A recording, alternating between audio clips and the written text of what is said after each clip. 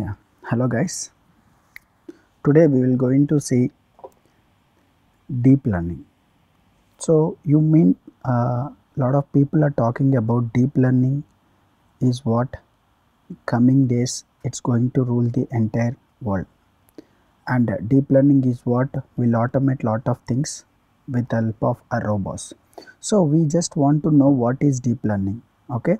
So deep learning is a part of artificial intelligence of course but before that before talking about deep learning before deep learning what is the way of learn from the data? What deep learning will do?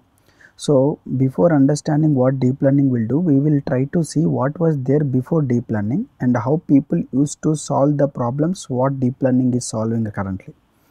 So to understand that we will going to see the different ways of learns something from the data so whenever we have a data we have to learn something from the data in order to generate some revenue from the company's data. So whenever we have a data there are different we have to learn. You have to learn from the data and act accordingly. So there are different ways of learning from the data. So the main agenda of learning from the data is what to generate some insights and respond accordingly. So there are different ways of learning from the data. That is what called a statistical modeling and other one is what called artificial intelligence. That is what ai these are the two ways of learning from the data. So let us see what is statistical modeling and uh, how that is different from artificial intelligence. In this artificial intelligence, there is a sub branch that is called machine learning. So we will going to try to compare the two different ways of learning from the data. And now recently people are talking about deep learning and deep learning is what a part of machine learning. If you see I'll going to show you one diagram that will give you a good understanding the differences between statistical modeling, machine learning and deep learning. So what is our agenda? Our agenda is to learn about deep learning but before talking about deep learning I want to give a clarification why I have to learn deep learning. What are the other ways of learning from the data and what are the problems with this data processing and how that will be solved by deep learning. So that we will going to address in today's class. So let us see what is a statistical modeling and how that is a different from other means of learning from the data. So now we will going to see the comparison between the machine learning and statistical modeling. So both are the tools which is used to help us to learn from the data and act accordingly. So what is a, a machine learning and what is a statistical modeling. Okay let us see that basic differences between those two. So machine learning or statistical modeling right? Let's uh, first let's talk about starting statistical modeling. This is used to find out the relationship between two variables in the form of mathematical expressions. So statistical modeling is a field of mathematics which is uh, used to find out the relationship between different variables but in the form of a mathematical expressions. And it need a lot it's all about rule based techniques. You have to code out lot many things with a rule based and it need a lot of human effort because here the statistician will going to work with this and will try to find out the model or try to model uh, try to find out the rules. And the statistics always infer something from the data so what do you mean by inference means? Let us see here. If I am going to say that if I am going to give you 100 uh, let us say if I there is India and India if I am going to ask you to find out the height of a man we don't going to find out the height of every man in India. So instead you will take some sample set and from that you will going to uh, do some calculations and you will infer the same thing to the population. This is by using sampling techniques you will do it out and you will infer that. So this is what happens in the statistics. You will going to infer something from the statistics. But, but the machine learning is a different okay? Right now we are talking about only statistical modeling but that is totally different from machine learning. This is a very old technique uh, the way of uh, learn from the data. This is a old it's about 100 years back this was been implementing. And this statistical modeling will be a very good on small data but this will be a very hard if you go with a huge data and the predicting power and the human effort and all these things are some uh, um, what some limitations of statistical modeling. And as well the statistical modeling will always goes with some assumptions. Will always goes with an assumptions and we have to prove hypothesis uh, testing uh, and we, if that hypothesis testing value is less than some p value we will reject that one. And if that is more than that you will go into accept that one. So such kind of uh, big things are there with this uh, statistical modeling. Both are used to learn from the data only but that have some limitations. But now let us see a machine learning. So what is a machine learning? A machine learning is what an algorithm which learns from the data that also finds to find that is also used to find out the relationship between variables but what was that right? It don't have any rules mechanism. It will learn from the data automatically. We have to show the data all the time to the machine learning. That is also fine to uh, use it to find the relationship between variables. But it don't have any rule based techniques. No rule based approaches. Or you won't going to explicitly program these things. Whereas in the statistics if you're going to see that there will be a lot much uh, feeding i mean to say feeding here means you will have a lot much teaching to the data. You have to code it out a lot. So you have to code it out to the um, statistical modeling. There you need lot much mathematical knowledge and everything. But whereas a machine learning is what a subfield of computer science and artificial intelligence which will learn from the data automatically instead of explicitly programmed instructions. But whereas statistical modeling is not like that statistical model need explicit programming instructions but here we don't need to code it out anything. That itself will going to learn from the data by observing a trillions of observations one by one. Then they make the predictions and learn simultaneously. Like there are different algorithms are there in machine learning like random forest and gradient boosting. They are exceptionally fast. And that also here you don't need a human effort. You don't need a human effort instead of inferring the solution right? Inferring the solution what a machine learning will do it will going to predict it out. That will going to uh, clearly predicts out the data. And this is recently developed in 80s and this is very very good on a big data. And we don't have any assumptions. We will simply feed out the algorithm with the new data. I mean to say with the observations which was already there so it that's how that that's what here a statistical modeling is good for small data with lesser number of attributes but machine learning is very good uh, for what uh, big data with a high number of attributes. Attributes are nothing but like a features here. So this is how the world is going. First they get started with what statistical modeling which is helpful to learn from the data. Later on they move to machine learning. I'm not telling you that uh, this is a substitute of that but this is what better than this. Machine learning is better than a statistical modeling. Understand right? The next one is what we understand what is machine learning and what is a uh, um, statistical modeling. Then we will see what is a deep learning then. What uh, what was the deep learning and what was the issues that you have with the artificial intelligence i mean to say machine learning so before that let us have a look on this uh, chart. Look at this here. This is what I was talking about. If you going to see that the first one this one is what called rule based system which is a statistical modeling. You have to design the program. You have an input and you have an output. So you have to design the program. So if you see this diagram this diagram will give you a clear understanding about what we are talking about. Look at that here. So if you see this one I spoke about the differences between statistical modeling and machine learning and look at that. It was clearly described in a single picture. Like this is what called rule based mechanisms. You have an input you have to design. Human effort is needed on a small data with a lot of complexity involved in preparing this hand designed programs to generate the output. This hand designed program will learn something from the data and will help us to give an outcome this is what a old technique but nowadays uh, in recent 80s to 90s there is a concept called machine learning emerged and there what you need right? You don't need to write any program. You have to design features. Yeah little bit manual thing will be there but that will that itself will learn that uh, uh, relationship between the variables. You don't need to design any program or you no need to hard code any rules this is what called a machine learning kind of thing and there is a recently reinforcement learning and all these things comes into this. So what you need you have a input and it will generate an output. That is what are the machine learning. So this what that mapping and everything will be done by the algorithm itself. It will going to give a better predictions if you going to show lot of uh, data to your algorithm. So that is a machine learning. So now let us say lot of people talking about deep learning so where are the deep learning use cases will be used and all these things? So we will see the differences.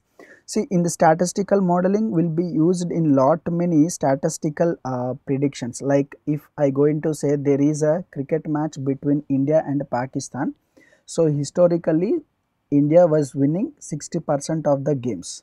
So that is the past data i'll give. And i'll ask you to predict what is the probability that india going to win 4 games out of 5 that is what a statistical relation thing that we will do like probability of India winning 4 matches out of 5. So that is there you need statistical predictions kind of thing. So you will going to see some scores and all these things that's all what a statistical given like predicted score and all these things the probability of happening a particular event that you can even easily describe with statistical modeling. But when comes to machine learning this is all about classifying classification algorithms. There are lot many classification algorithms and random forest algorithms. Uh, one of the classification algorithm is what? Random forest algorithm and uh, regressions and all these are all there. They are all been using in lot many uh, use cases in the industries. But they are all very good right? Why we have to learn deep learning then that is what here. So, there are some uh, issues with the machine learning itself. So, we will understand first of all the word what is meant by deep learning. So, the question is not what deep learning, why deep learning. Okay. So, let us see here. So, with let us say if I am going to give you in the machine learning what is the uh, probability right here the what the things going to happen if I am going to give you the size of the home and if I am going to give you the number of bedrooms and if I'm going to give the zip code and if I'm going to give the wealth and I'll ask you to predict the price. So this is a regression concept. So if I'm going to give you these columns, these columns are called features. So if you use a machine learning, right, these columns are not giving you any direct predictions.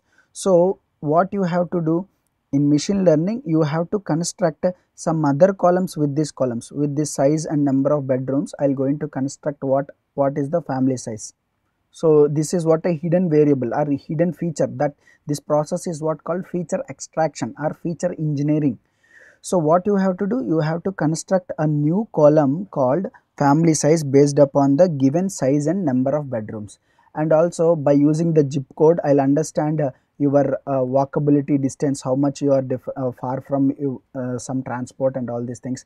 And by using zip code and wealth i'll understand your schooling i mean to say your quality of the school and all these things. Based upon this we can go into predict the price of that home that you are trying to purchase so then i'll give this uh, information to the real estate guys and the real estate guys will come with the proper package to your home and they'll going to recommend what kind of house and where you want to purchase. So this is what happens in the machine learning. But here machine learning right you are manually coding out the features and for this what you need this is process is called feature engineering and here this is what you are making human made and you are not finding relationship between that. You are just creating the variables. Relationship between that by using ruling rule based mechanisms are statistics. But here this is machine learning. You just going to define the features. And the, here you need a lot of domain knowledge. And uh, based upon the features that you created only the price will going to be predicted better if you gave some weak features or very low level features that may not will contribute something in predicting the price. Then that will be the problem. So that's what the issues with the machine learning. So machine learning right? If you're going to see that these are all the parts let's say size is this and number of uh, bedrooms and zip code and wealth. So what your linear regressions are doing it out here? It will going to construct a new variable like family size and it will going to uh, create walkability distance and zip code and wealth will give you the schooling information and these three will help you to predict the output called price. So, here this layer is what constructed by the domain experts. So, this is your input and this is your output. Okay, you will construct these features and the machine learning will try to find out the relationship between that this is what happens in the machine learning. So thing is what right? You need a domain knowledge to generate a feature engineering. This is a very very important step. If you are not enough to generate a good features you don't get a good output. So this is what happens in the machine learning. But whereas in deep learning what they'll do? You don't care about this. You don't need to be an expert in a domain. Why? Because the deep learning itself will going to generate some deep inside features of the data. That is what actually the meaning called deep. Deep means if you are using machine learning you can define only one layer of features not very complex features. It is sometimes very hard for human even though they are domain experts they cannot design some complex features. But uh, whereas in the deep learning that it can going to generate the uh, features which are required. That is the word the meaning called deep. Look at the deep learning. You have input and this is the output. That framework first creates some simple features and from that it will create multiple complex features. Then it will mapping from the features so mapping from the features will be the same concept when you compare with the machine learning but generating most complex features is what a deep learning can go into uh, do it out. So that is what the meaning deep means it will going to construct a deep features not a one layer features. So that is what we call it as a deep learning. So deep learning is what right uh, again it is a field of computer science and artificial intelligence and this is a subpart of a machine learning only. So if uh, someone says that this is a different part, don't rely on that. This machine learning is literally uh, a subpart of what? A machine learning. So machine learning what it will do? It will give you accurate predictions by feeding more data. But whereas deep learning won't going to do that kind of thing. If you're going to show a lot of data, then only the machine learning will work. But for uh, deep learning, right, that model is able to learn its own method of computing. Here we have to design our features in machine learning, but here deep learning will use its own method of computing like our human brain. So how our human brain will going to uh, take our own uh, computations we don't need to let someone to define some features to decide something right our human brain will decide automatically so that is how this was deep learning was designed it is going to learn the data through its own method of computing. So this will continuously analyze the data with a similar structure like our human brain. So our our human brain will draw some conclusions, right? In the similar way, it will going to do that. So to achieve this, deep learning uses a layered structure. Okay, it it will going to uses a layered structure of algorithms called artificial neural networks. So like our human brain only, it will going to decide that common features or complex features okay and then will going to help you to predict the future. So there are lot many examples for uh, artificial i mean to say your deep learning like uh, language translators and facebook facebook photo tagging and a lot many like uh, polices are using face detections in identifying the criminals. These are all what a good use cases of a deep learning so there you really don't care about the features that was generating it out. That is a kind of a classification techniques. So deep learning is very very good in the classification techniques. So it won't really care about what features are there. But I'm not telling you that deep learning will override your machine learning. In some use cases you need the features also. What features are affecting? Let us assume if I'm going to give you one example. Let us say we have a tons of uh, web data is there. And if I ask you to give a score give a score of all the uh, web data. So your deep learning and machine learning will go into give a scoring for that. Deep learning will give you good but deep learning won't tell you on what basis it gave that uh, rating to that particular web. So let us say it gave let's say this gave first rating to this so now the question is on what basis you gave the rating? Deep learning cannot explain because deep learning will going to create its own features and it won't going to tell you what are the features helping it to, predict it out. But whereas machine learning you will going to uh, design lot of features manually and then these features will going to help you to predict the uh, rating. Then you will come to know that let us say if I am going to give a rating uh, uh, 3 here on what basis you gave rating you can going to easily define because you have what handmade features. But deep learning is not like that. So remember here deep learning is not a, substitute for deep uh, machine learning there are some cases where machine learning alone will going to work better. So if you see that there are lot many differences are there between a machine learning and deep learning. So today you you got it the points right our agenda is what mainly find out the differences between machine learning and deep learning only so we have to identify where we can use machine learning and where we can use a deep learning. Let us say here let us see the dependencies. That's what i was talking about. Uh, deep learning is a part of a machine learning only but it will going to uh, take the decisions most much quickly. So let us say in some use cases really the machine learning won't work. So like face detections and image tagging and uh, mm, something called like image tagging means looking at the image you can easily say what he was doing okay let us take this example. Uh, if i am going to give this image what he is trying to do? So he is throwing a ball. Like machine learning can identify that and it will going to tag it out. I mean to say deep learning will can do that one. This is what the difference is between that. The goal of ai is what? A mission ability to think reason and learn it. And goal of machine learning is what? Is what? Ability to learn the stuff. But this one deep learning is what? Much quicker approach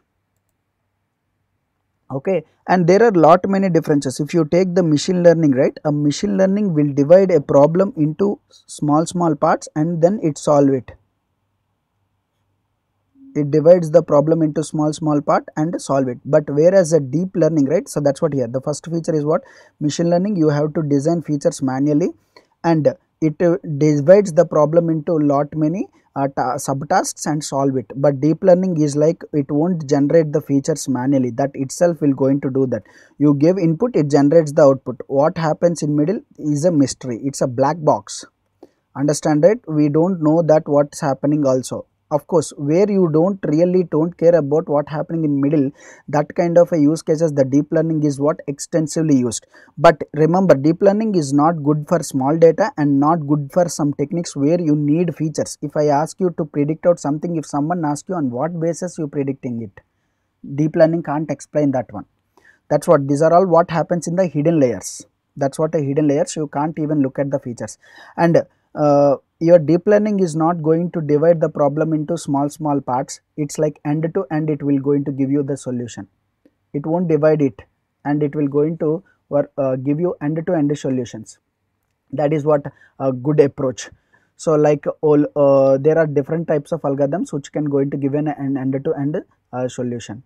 So these are all what big differences. There are lot much differences are there between a machine learning and deep learning so mainly the deep learning will be concentrated on a new concept called artificial neural networks. So we will going to discuss what is artificial neural network, how that is related to our neural networks of deep learning and everything in a next video. Thank you guys.